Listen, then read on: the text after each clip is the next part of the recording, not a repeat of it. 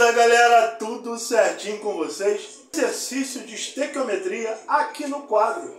Bora trabalhar! Qual o número de mols de CO2 presente em 88 gramas de CO2?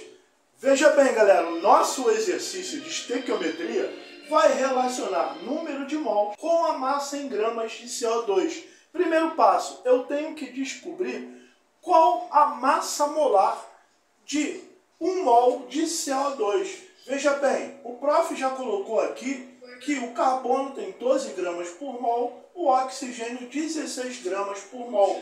Veja que eu tenho um átomo de carbono que é, tem a massa de 12 gramas, mais dois átomos de oxigênio que tem a massa de 16 gramas.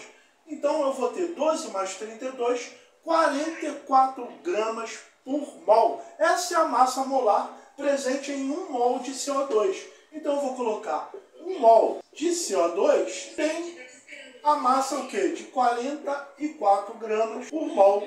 O problema me pergunta o quê? Qual o número de mols? Então o número de mols vai ser a nossa incógnita x e ele nos apresenta no problema massa o quê? De 88 gramas. Então eu tenho 44x é igual a 88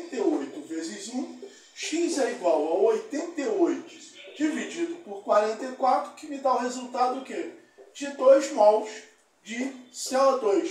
Simples, simples e bem simples para você aprender química aqui com o professor Brabo da Química, professor Flávio Jones.